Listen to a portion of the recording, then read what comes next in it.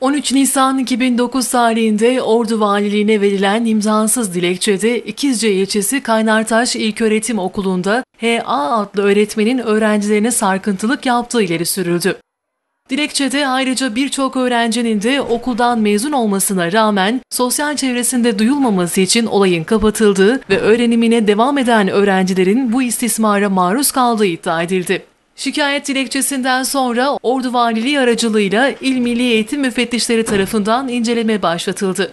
Yapılan inceleme sonucunda HA isimli öğretmenin bilgisayarında 355 adet pornografik film tespit edildi. Öğrencilerin verdiği ifadelerce 10 öğrenciye cinsel taciz suçunu işlediği tespiti yapılarak olayın savcılığa iletilmesi sağlandı.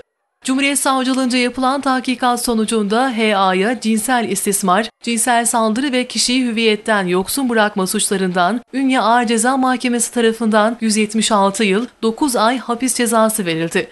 HA için arama kararı çıkarıldı. Ayrıca bu ceza Ünye Adliye tarihinin rekor cezası olarak tarihe geçti.